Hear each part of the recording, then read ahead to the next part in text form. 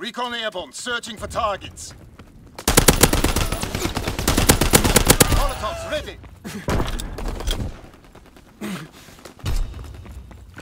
Light them up.